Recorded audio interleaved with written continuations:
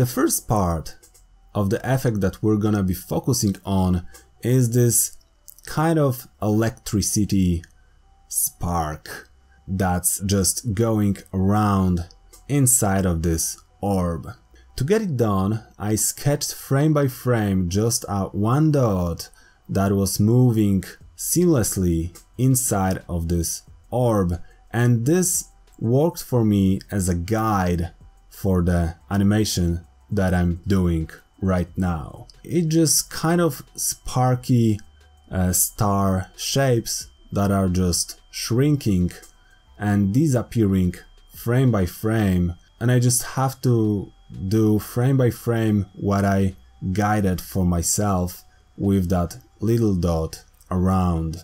I was just a little worried about if everything will go smoothly uh, and seamlessly, but it just worked perfectly with onion skin I was able to achieve everything right away. Once I was happy with the result, just straight from the sketching, I just multiplied this couple times to make a little more things happening inside of my glowing orb. Of course everything had to be shifted around uh, and kind of rotated to not make everything so visually duplicated okay? The next part was just that spikes as you can see which was growing from the center and disappearing back in the center with that kind of rotational motion and I just drew one and I duplicated it as much as I wanted and I decided to draw one more, just a thicker one, bigger one, to make even more variety than just scaling and rotating one. I have a little more flexibility and it just looked a little better with two variations of this effect duplicated all along. Now I just had to play around with my duplicates to find a sweet spot to make everything works as seamless loops and look pretty pretty cool for the eye. Once I achieved that, I just quickly checked everything and I pretty much knew what will be the next step for this animation. Just a quick uh, setup with glows and blurs to make everything works the way I want it to work. So I kind of have that reddish yellow inside thing and I just copied and pasted this effect all around this glowing orb to have a consistent effect on top of everything. Then I sketched this circle around uh, that container for everything and what I did here which is the, which is the most uh, intriguing I guess part of this special effect I make everything bigger uh, like a duplicate and I used it as a refraction mask to my container with this thing and frame by frame animation behind this refraction mask, behind all of my animation, I was able to distort this outside, this container of my glowing effect, which is pretty awesome I believe. I decided to make one more kind of donut shape inside to make just a little more things inside. I, I guess uh, there was just too much negative space and with the refraction mask I was able to play a little more and it worked kind of like a pupil inside of the eye. That's a good idea, actually to make animation like a pupil. To make everything visible I just had to play around with some cutters and additional glows to kind of make everything visible and make some extra extra things because glows and blurs likes to multiply and it just not looks very very cool so a little additional colors works perfectly.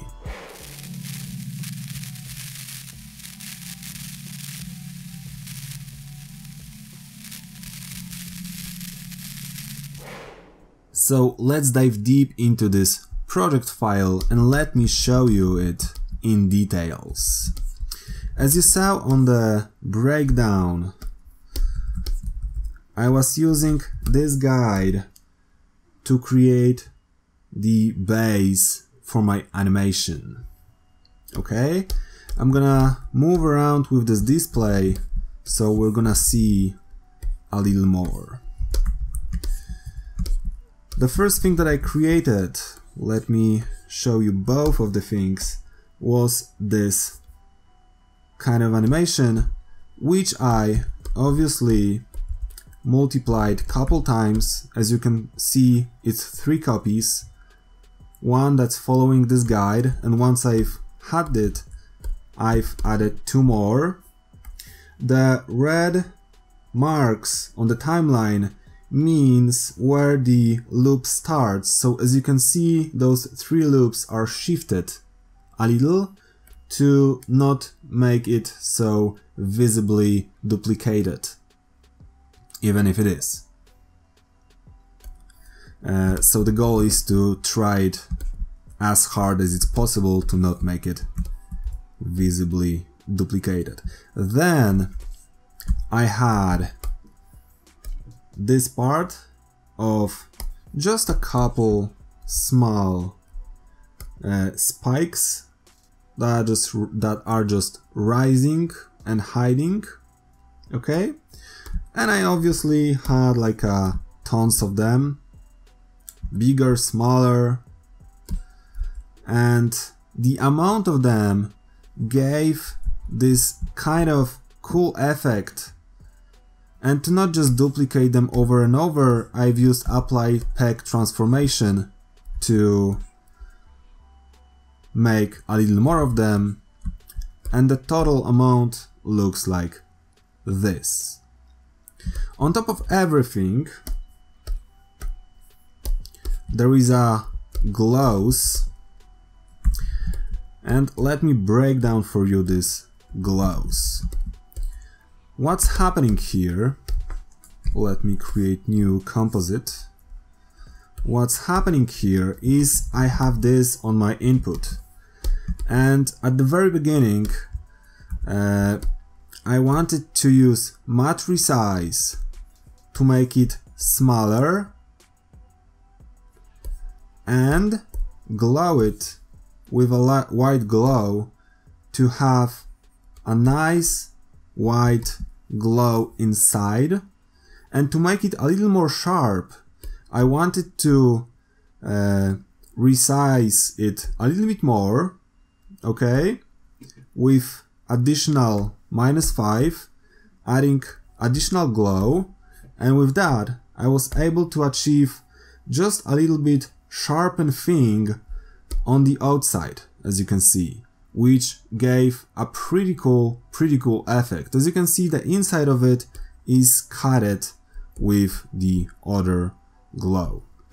Okay, then I uh, used another matte resize and another glow which allows me to give it yellowish uh, kind of contour inside.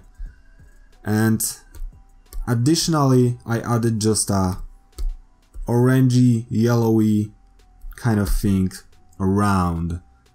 And that's how I made this glow part which I'm pretty happy about because having that white inside and something something something there that that yellow thing is is a really cool uh, addition instead of just having yellow inside and without this white uh, and this yellow this this white on the border. It it went uh, really really cool. And the other part with the energy is just made entirely in the same way as you can see cutter matte resizes and glows. Okay, let's move on. Once I had this, I was able to create two circles. The first one was this, and it's just a circle made with a pencil.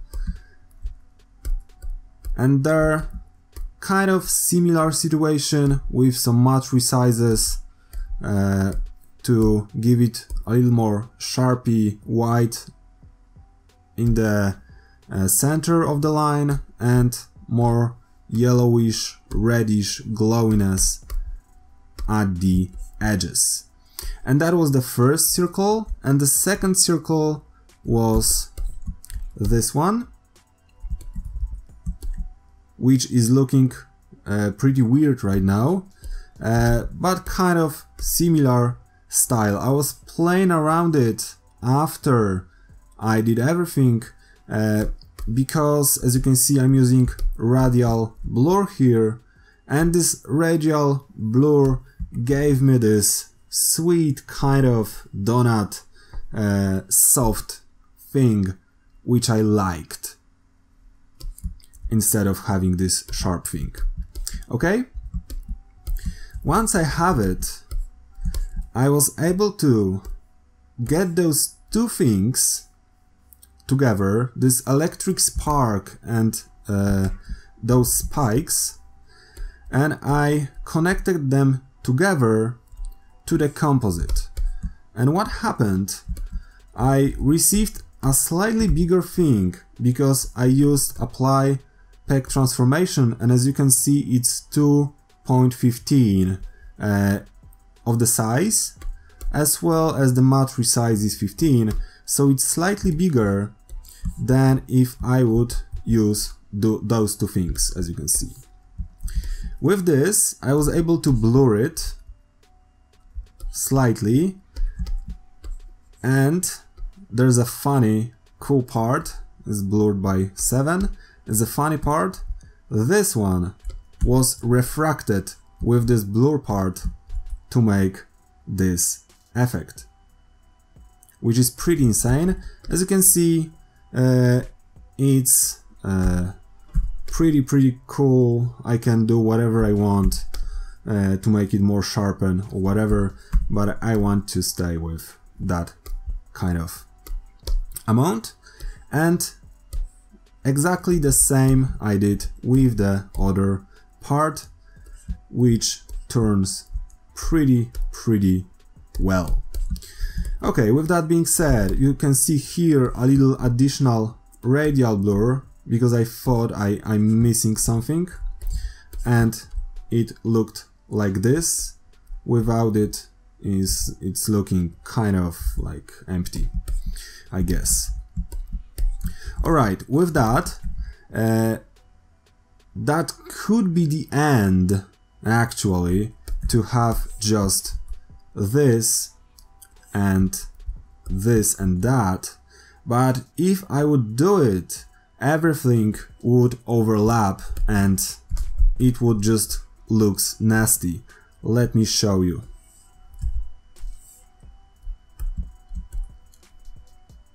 So kind of everything like overlapping on each other and there's really it's it's not super visible. It's not separated. All the tiny details are not separated from from each other.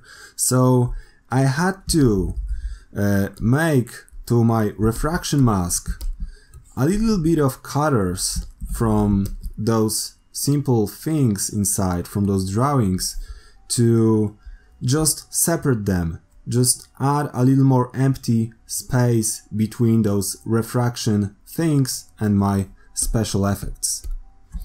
With that being said, uh, let's move to it and let me show you how it was done. So there was just two effects without without any uh, without any additional nodes.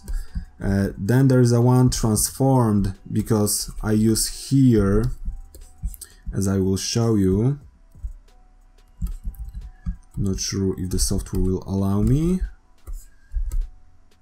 Uh, without those two things. Okay, so I just wanted to have a little more uh, like again space inside so I added one more duplicate of it just a tiny blurred and transparent to not make it so poppy uh, on the screen. And with that being said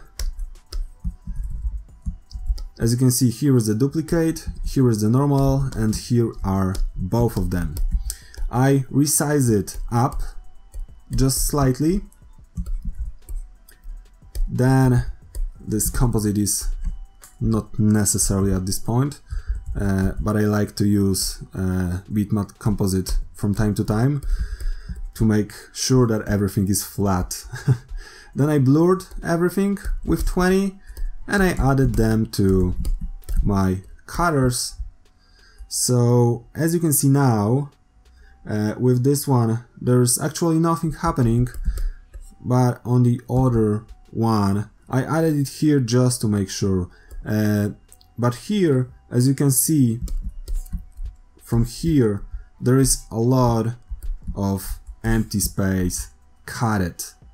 And this made actually room for the entire effect here, which you can see it's just inside and it have that tiny little negative space between the effect and the actual uh, refraction thing. And that's pretty much how this file was created. And I'm pretty sure, I'm pretty sure you can do it on your own.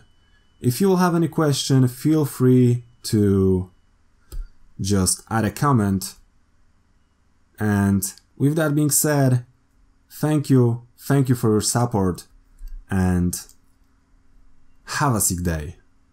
Cheers.